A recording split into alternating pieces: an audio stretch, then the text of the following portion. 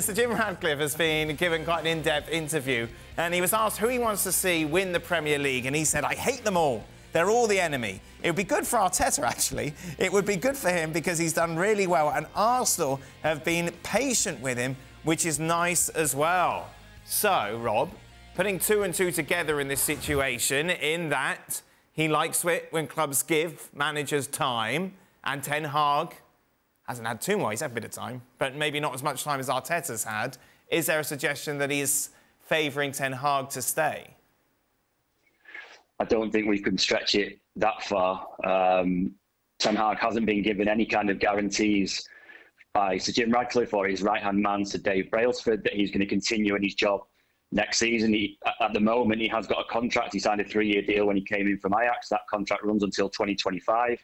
So, in theory, he has got another year left. But until Sir Jim Ratcliffe or Dave Brailsford comes out and says beyond any shadow of a doubt that Erik Ten Hag is staying as manager next season, there are going to be doubts about whether that is, is the case or not. And that's down to the fact that this has been a really poor season for Man United. The, the two things that cost managers their jobs are poor results and new man, a new owner, sorry, coming in. And at the moment, Erik Ten Hag is dealing with both of those things. Obviously, there's still a chance that he may turn the season around. It's possible that he could win the FA Cup. They could still scrape into the Champions League um, next season. I, I, think, though, still that, that Sir Jim Ratcliffe is looking at that manager's position and thinking, is he the right man for the job? And there's an awful lot of question marks about that at the moment. Do you like Mark Ogden, Rob? what, personally? Or yeah. As, yeah, I think he's all right, yeah. Well, that was not the most convincing because I'm wondering if there's like a rivalry between the Manchester correspondents uh, when it comes to, comes to the big stories. The reason I bring that up is because Mark has been writing about the special relationship that Ineos, of course, part of the new ownership of Manchester United, and Gareth Southgate seem to have, and that is why Gareth Southgate, when you have a look at the odds uh, as to who is going to be the next Manchester United manager, is in the equation. And Rob, I can't imagine that Manchester United fans are particularly excited, given Gareth Southgate's domestic form, that uh, Southgate is favourite to take over. Yeah, uh, you're exactly right. Uh, I can understand the, the interest in Gareth Southgate from Sir Jim Ratcliffe's point of view because if you're judging it on purely on fit, Jim Ratcliffe wants a manager to come in who's going to work in, a, in an overall structure um, reporting to a sporting director, it's likely to be Dan Ashworth, working with a, a head of recruitment and a, a, head of performance. United in the past have given managers an awful lot of power, more power than perhaps they would get at other clubs. And so Jim Ratcliffe wants to end that. He, he wants the manager to be a cog in the machine and not this sort of overbearing overlord who, who can do what they want. Um, the days of, of that, you know, we used to see with Sir Alex Ferguson, those, day, those days are over.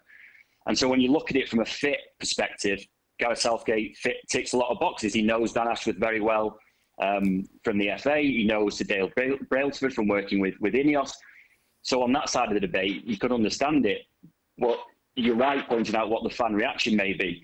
You know, Gareth Southgate hasn't managed a club game for 15 years, and even then, he, he took Middlesbrough down into the Championship um, and was sat trying to get them promoted back to the Premier League he's done a good job as England manager. He's got them to a World Cup semi-final. He's got them to a Euros final. But even then, there are still some England fans who think he's still pragmatic. He's not adventurous enough.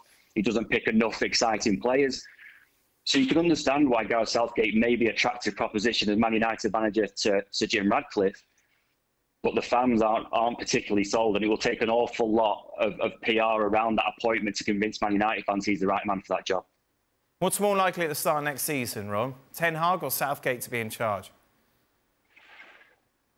Honestly, I think it's it's completely up in the air. I, I think I don't think that that Sir Jim Ratcliffe has made a decision on his manager. Um, certainly, the people around Erik Ten Hag are saying that they don't think that he's made a decision.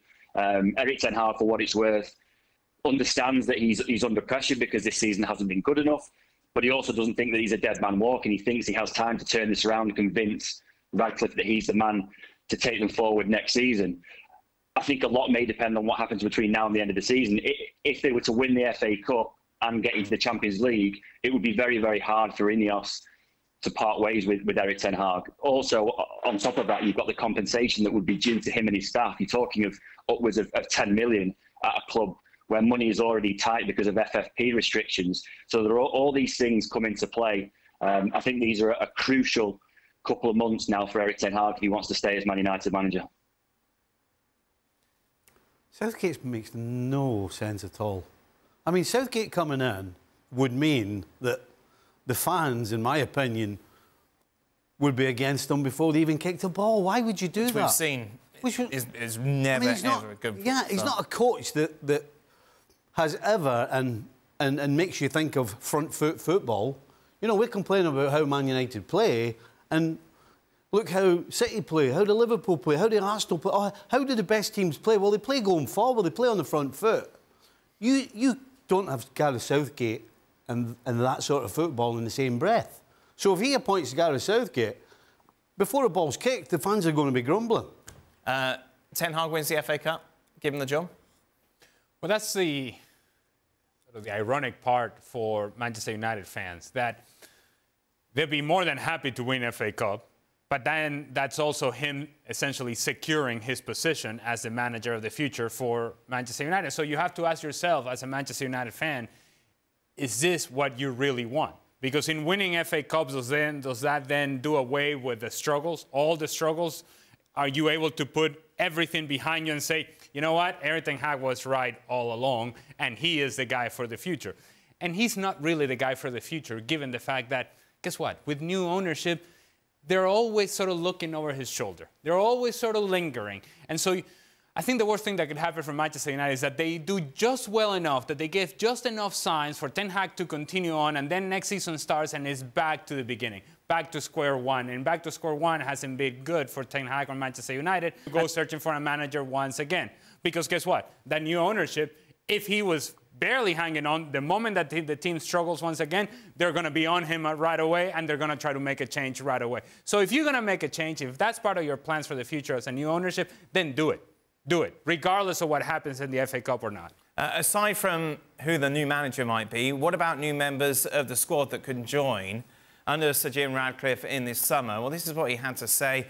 Uh, it's not that clever buying Mbappe. Anyone could figure that one out. More challenging is to find the next Mbappe or Bellingham or Roy Keane.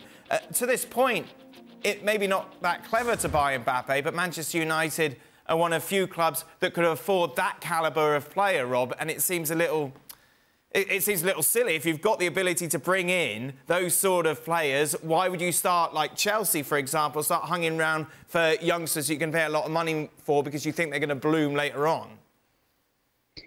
Yeah, I, I mean, I think the wider point that Ratcliffe is making there is that he's seen over the last 10 years that United's recruitment has been based around buying expensive superstars. You know, you're talking about the likes of Angel Di Maria and Paul Pogba, players who came in on massive fees with big reputations and, and failed to deliver at Old Trafford. So the wider point that he's making is that instead of trying to target these superstars, and, and you know, let's you know, don't forget that they've got absolutely no chance of signing Kylian Mbappe, even if they wanted to. He's going to Real Madrid, so forget that one. But he's, he's, he doesn't want to target these established superstars. What he's suggesting is that they will look to buy younger talent and nurture it themselves. Now, United have, have, tried to do that alongside buying established stars in the past as well, and even that hasn't worked out. The, it, the recruitment overall over the last decade uh, has been hasn't been up to scratch at all, and, and that's why they've fallen behind the likes of Man City and Liverpool. So they need to sort the recruitment department out. You know, beyond picking who the manager is going to be or or who the players are going to be, they need to sort that recruitment department out. They need to have guys in place best in class who can identify these players and slot them into a squad and, and make them title challenges again because for too long it's just not happened. No, they spent a lot of money, wasted a lot of money, uh, which could, of course, been invested better. But it's a balance, isn't it, Stevie? Yeah. Yeah, I think, I think the superstars come once you've got the club on a solid base with some, some good young players, some good experienced players, and you're on the up, and then you start adding your superstars to take you to the, to the Champions League or take you to fighting for the Premier League. So I think right now, regardless, you wouldn't get an Mbappe. Nobody, nobody uh, of that elite talent is mm. going to look at Manchester United right now. And so it's a, it's a process, and United fans just have to realise that it's going to take a rebuild. and, and it comes from the bottom. You've got to start at the bottom and build the core, and then you start building it up, and then you start bringing in superstars. But the recruitment, 100%, is what it's down to. You know, you look around at the top teams, and their recruitment has been absolutely spot on. Yes, they've spent a lot of money, but they've got it right. And that's why your Arsenals and Liverpool and City are fighting for Champions League and Premier League. Man United have to start again. If they, and if they're going to start again, then it begs the question: Is Ten Hag the guy for that rebuild? Is, is he the guy to nurture this young talent? Given the evidence that we have seen so far, it would seem that the answer to that is a very clear no. So I go back to your last question, Dan. FA Cup or not, you cannot make a decision based upon the fact that you win FA Cup or not, because it, it it's a very short-sighted decision making process and it gets you into trouble because you're saying because we won FA Cup then everything must be well with this club and that's not the case. And and if you're going to do a rebuild you have to have a clean start including with the manager. Think about it rationally. Before the Liverpool game in the FA Cup uh, a sound defeat would have spelt the end for Ten Hag. So how does winning one game and then possibly two more change to you're the man to build this club it don't make any sense. If the club is indeed going to go through a rebuild, questions around, well, where does Bruno Fernandes fit within that restructure? Is what he had to say about his all this season. At Manchester United, it hasn't been a successful season individually. I'm perfectly aware that I have the capacity to do more and better as always. But this is one of the things that United are going to have to address going forward, isn't it, Rob? Because if you want to, as Stevie says, completely start from the bottom of this club, you need someone within that attacking midfield role to do a lot better than Bruno Fernandes has been. Yeah, I mean, I, I can understand why he said that today. His performances haven't been our level that, that we've expected at, Man United. You know, the, the numbers of, of, goals and assists um, when he first came in from Sporting Lisbon were an awful lot higher than they have been this season. I, I think probably he would argue that he's been playing in a, in a particularly poor team and it's very, very hard for creative players um, to, to perform well in teams that are underperforming. Um, I think that maybe whoever the manager is next season or whoever's looking at the, the recruitment over the summer will probably think that that United squad has bigger problems than Bruno Fernandes. They, they need another striker. They need one centre half. They probably need a midfielder. They need at least one fullback. You know, Bruno Fernandes has got his shortcomings and he's taken an awful lot of criticism um, from outside the club, but also from inside. You know, there are Man United fans who don't think that he should be Man United captain, that he's not the right character for that role. But when you talk about that squad and, and, you, and you look about the work, you look to see the work that needs to be done to fix that squad. I think there are bigger problems probably than, than Bruno Fernandes. Uh, well, let's address uh, another long-term Manchester United player who was exceptional at the weekend. It was the Marcus Rashford that Manchester United were hoping for when they handed him that big contract. Obviously, this season has been a massive letdown. And in one, on one side, you could look, yes, this is exactly what Marcus Rashford can offer you going forward and defending. But then you also say, well, eh, why has it taken the second half of an FA Cup quarter final for us to see this from Marcus Rashford when we've seen it so little throughout the rest of this season? Yeah, and that's exactly it. I don't think anyone is arguing that Marcus Rashford hasn't got the talent and the ability the problem that has been ever since he made his debut as a teenager, the problem he's faced is not finding that consistency. He found it a little bit last season post World Cup and managed to end the season with 30 goals, but we just haven't seen it um, often enough. You know, the, the, top players, the players that he wants to be mentioned alongside, the likes of Mbappe, Haaland, Salah, you know, these top top tier forwards, they do it week in week out. They score every single week, or not just score, they contribute whether it's goals or assists. And Marcus Rashford hasn't done that. You know, there are, there are games and spells of, of the season where he will score three goals in three games or five goals in five games, but then it'll be another 20 before he registers a, a goal and an, or an assist. And that's just not good enough for someone that really should be hitting the peak of their, their career um, and someone who wants to be mentioned as, as one of the best players in the world. Um, it's really going to be a challenge for, for Marcus now to, to find that consistency because he's just not going to be he's not going to be classed as a world class player until he can do that. And and this season is a case in point. You know, last season he did really well, scored 30 goals. This season he's been nothing like at, at the same level. And there was even a point in the season where he lost his place in the team entirely because Ten Hag couldn't trust him defensively. You know, he can't pick and choose the games he performs in. It can't just be quarterfinals of the FA Cup against Liverpool. It has to be after the international break against Brentford away. It has to be against Luton at home. It has to be every single week.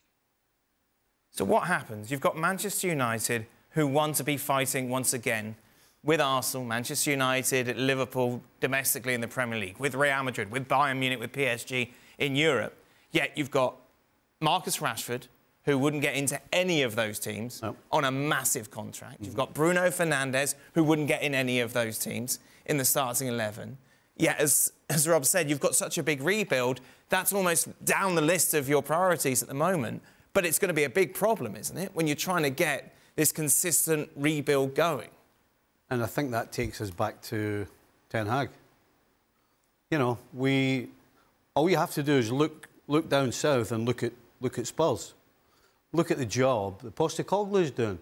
Now, that's man management. It's not just coaching, it's not just X's and O's, it's man management. He's got every single one of those Tottenham players playing way above what they did last year.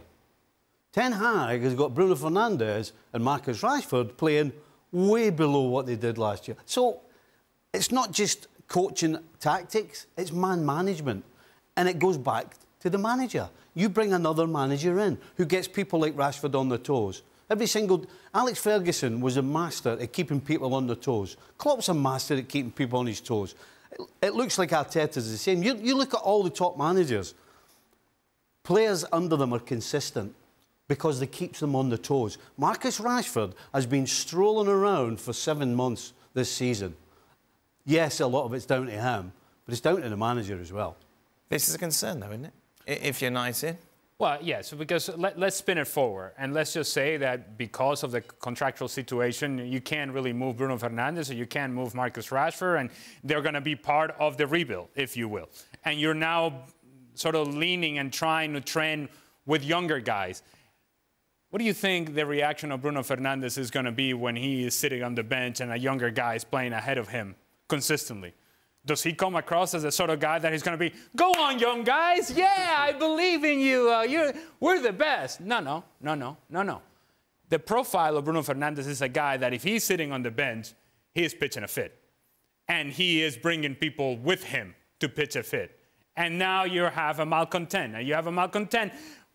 It's not ideal when you're doing a rebuild and when you're trying to push younger guys and you're trying to build a base for the future. It doesn't quite match what you're trying to do and the personalities that you have available. And so, if indeed this is about a rebuild, then those guys, in particular Bruno Fernandes, if I were Manchester United, I'd be thinking about a future without him very quickly. Uh,